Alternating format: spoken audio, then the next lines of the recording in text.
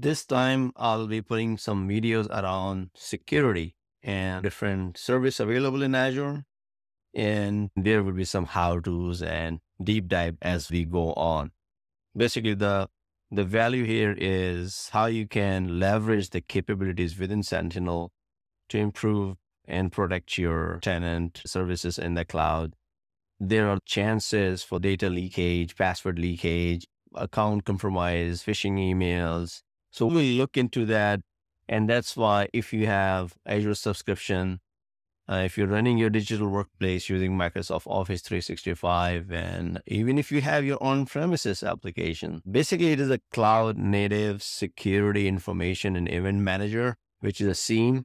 And so it's a SIEM platform and it uses built in AI, which can help you analyze large volumes of data across your enterprise, not just 365 and which is fast and saves money and costs. We'll look into that. Basically, Azure Sentinel collects and aggregates the data from all sources, which includes uh, users, the applications, servers, devices, and they can be anywhere, maybe in cloud, on premises, hybrid environment.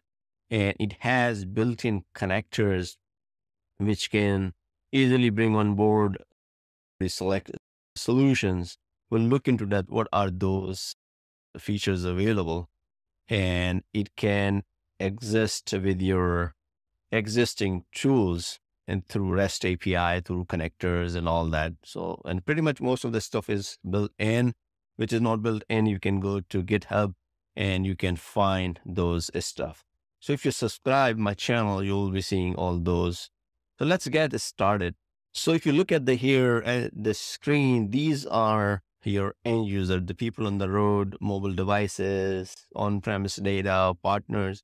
So basically, because of the cloud, your firewall, your data center is not your protection layer because today everyone is in the cloud. And when you move to the cloud, your mobile workforce is there.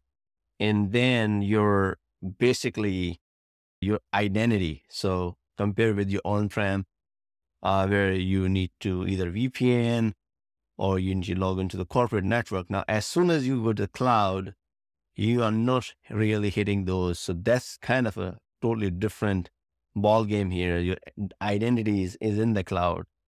And regardless which size of the organization you are, pretty much you have all the same challenge because your people, your application, or let's say in this case, maybe SaaS based. We talk about IoT, anything. So it's all cloud related. And that's why you need artificial intelligence enabled solutions. So what happens, uh, the security operation mission is to protect organization information and assets, uh, which is becoming increasingly difficult because attack techniques and frequencies and complexities are also evolving at the same time. Again, because of the cloud, the way the attack used to be is totally different because attacker also leveraging cloud capabilities, advancements. So that's why you need a smart AI machine learning enabled solution, SOC solution, SOC product to defend and protect against those kind of attacks. So if there is a normal known anomaly on attack is that it should just block itself.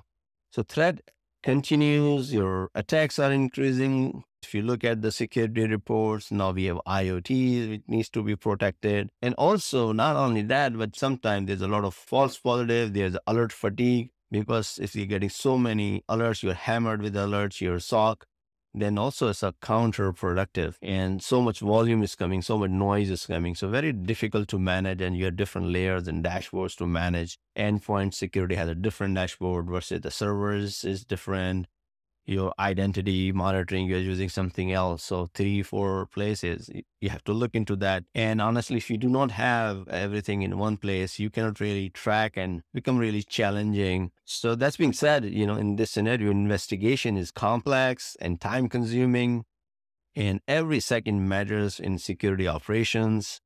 So current solutions are not architected for today's demand and your legacy on-prem SIEM require powerful hardware, extensive maintenance, and they're expensive. If you need to keep it for a year, for example, and if you have 100 servers, 5, 10,000 employees and devices, so do the math.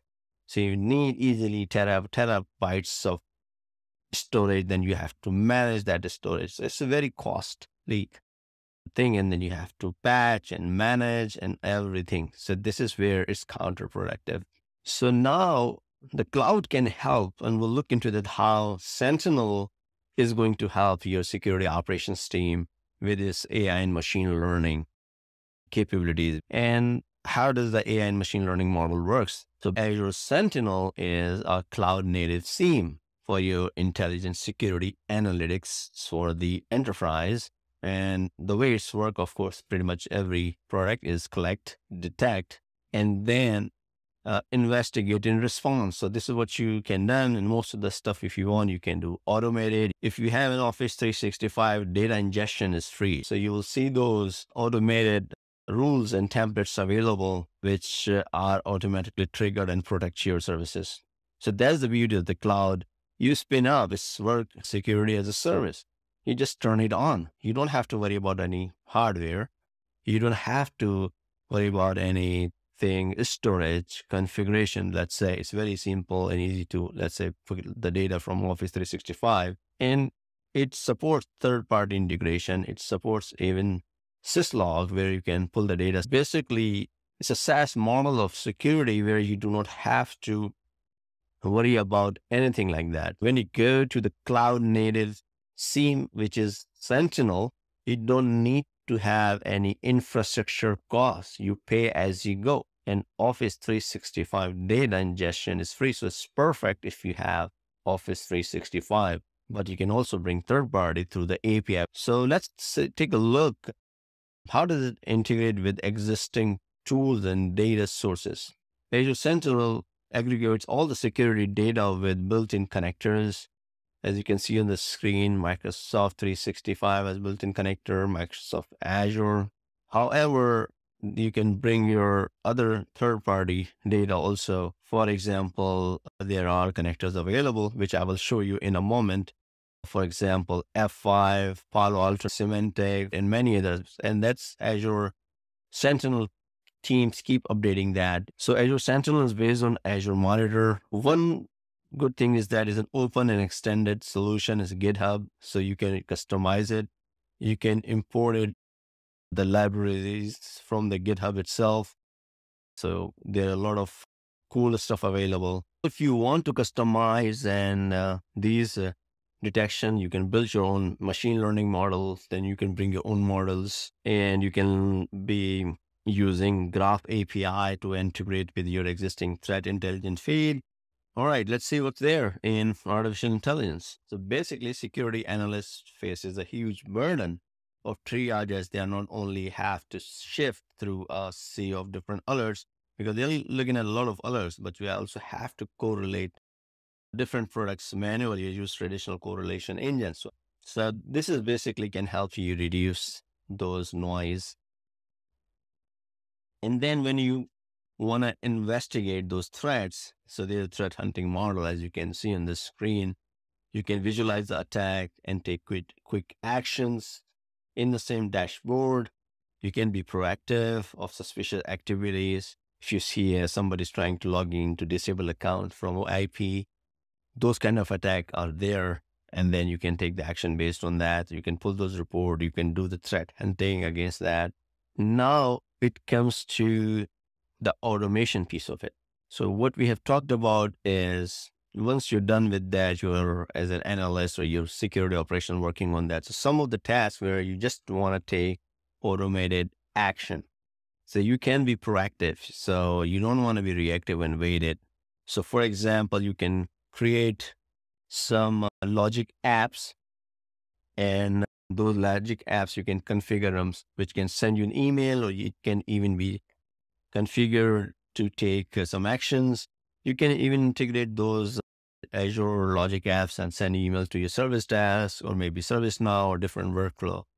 So basically, that is the capability using some playbooks. And that being said, here, if you need more information, you go to the Azure Sentinel website. Here is my tenant, the one I use for my personal use, but it's a production tenant. And you can see here on the dashboard, one single dashboard, it shows me the events, the alert, incidents, and it's kind of giving me a history of the data for as far as I can go back. And then I can select if you see it's changing. So tell me what time today at 11 a.m. There were two alerts, six office activity, Azure activity or not. So if I move here, you see these things are moving. So again, were there any alert? Yes, some Azure activity, 6 p.m. And these rules got triggered, which I created. So that's why there are some incidents and alerts created. The usage is showing here. Uh, we'll look into that. What usage is about office activity was there high at 2 p.m. So the idea is that once you do that, it's not necessary it's high and low. You're going to learn what's high is high for your environment. So over the time of the next few weeks, you're going to learn it. So once you spin it up, you want to see it right, right away, it's going to take time and then you can see it. There are incidents. You can go to the each individual incident. You can look into the workbooks. Uh, you can do the hunting, notebooks, data connectors. I was talking to you. So let's take a look. What are the data connectors? In the next video, pretty much I'm going to be showing you more details on these data connectors, how to understand, how to read them, and what you can do. A lot of Azure, but I told you about third party. So you have third party Barracuda available, Checkpoint, Cisco SA, Citrix, CyberArk, F5, Forcepoint. Even you can bring CASB data here.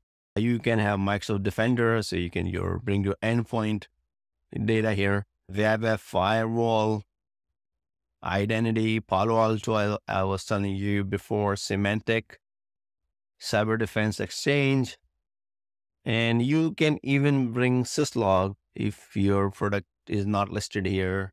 You can configure a server, ingest the data through a syslog and all that stuff. So that's being said, this was high level overview of Microsoft Azure Sentinel.